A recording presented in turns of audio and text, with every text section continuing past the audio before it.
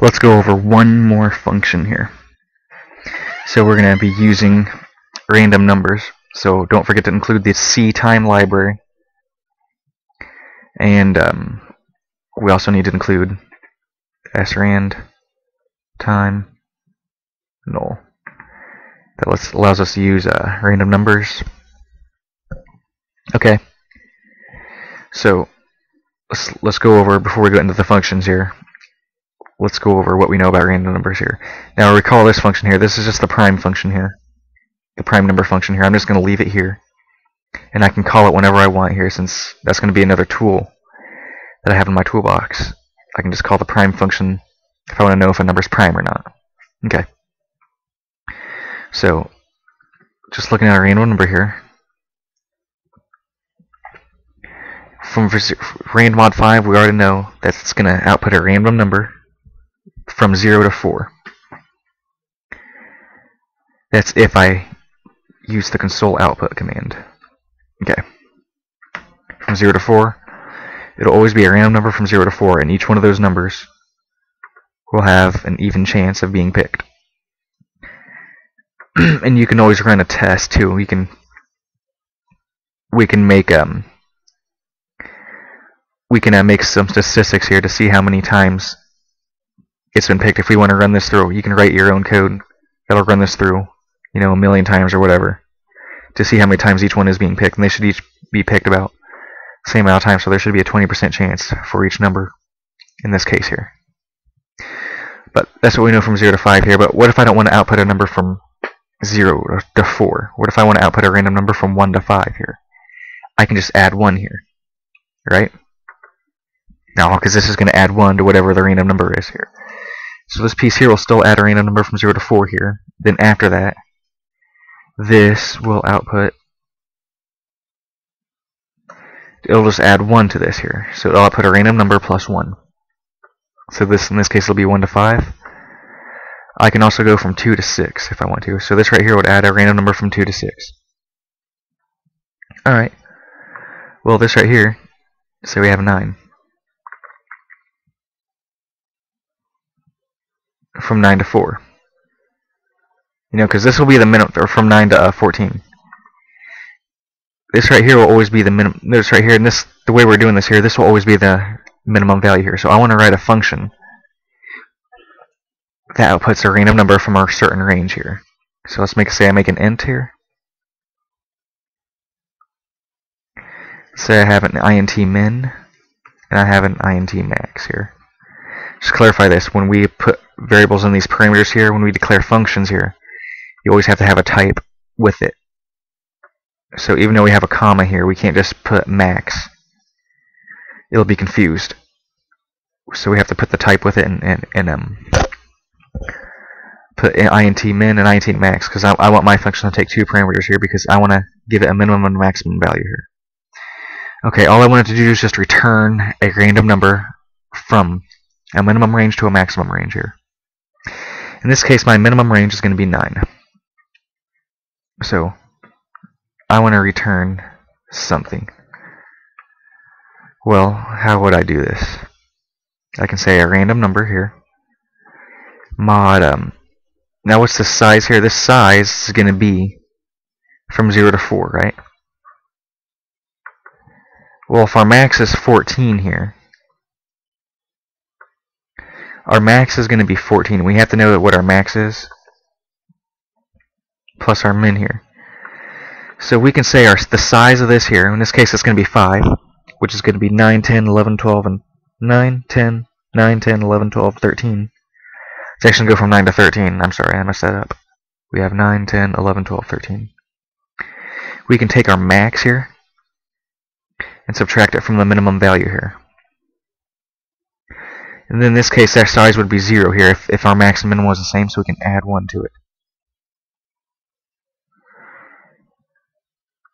And then we can add the min tier and that's it for our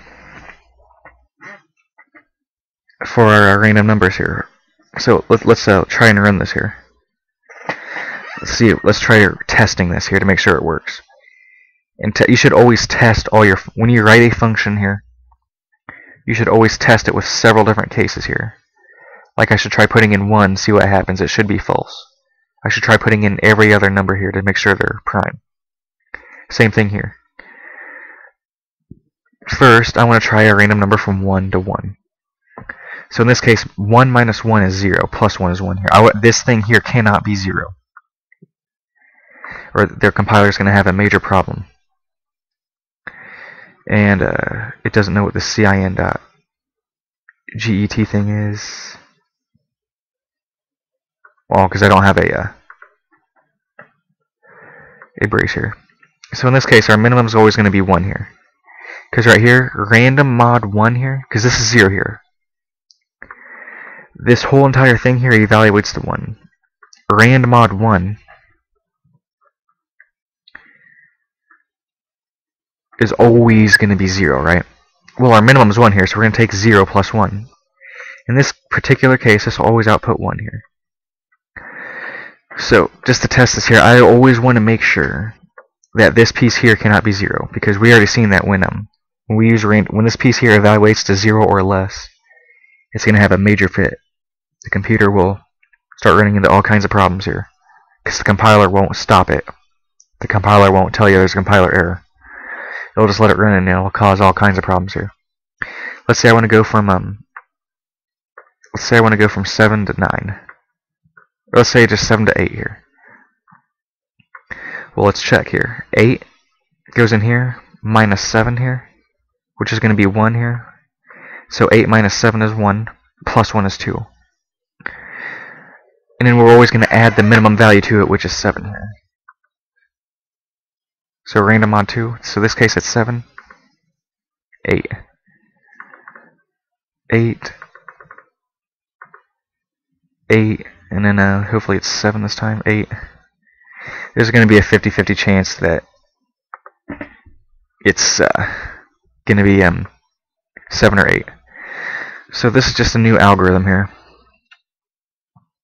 And um, it'll just output a random number based on here. It'll always either be it'll always be between 7 and 8.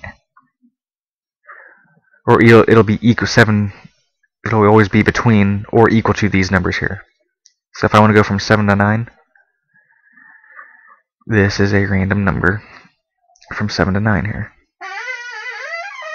So I'd rather use this here instead of using this rand thing.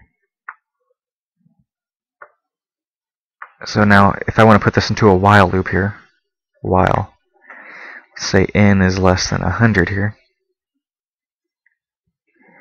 and I gotta declare n. And now let me just use a for loop. For int a is equal to 0, a is less than 100, a plus plus.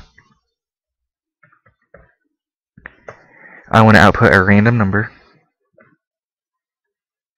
maybe from 1 to 100 here. So it'll always be between 1 and 100 here, so it'll always be included into the set. And uh, this is case sensitive, you have to make sure your name matches the name of your function here. So we run this here. And nothing's going to happen because I forgot to output these to the screen.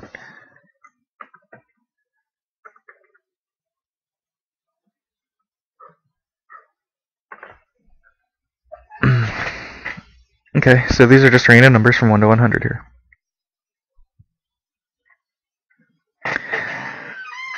And notice that 100, 100 was uh, included in there somewhere. Here's 100 right here.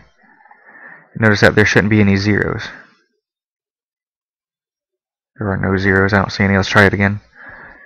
Maybe we should go uh, 300 times and check to make sure there's no zeros. And there won't be. We, you can. Another thing is when you test this here,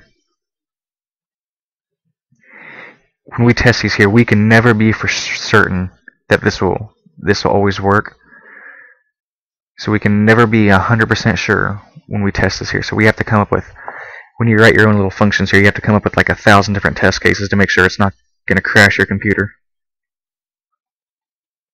When you, when you, uh, when you trust it. So when you trust it enough, because I'm pretty confident that this will work here, but I can never be for certain. Just as um, I'm pretty confident that this will always output prime numbers here, but I can never be certain. So now what I want to do here, we have two functions here. In the next video, I want to I want to go over one more function video, and uh, we're going to uh, apply these two together here.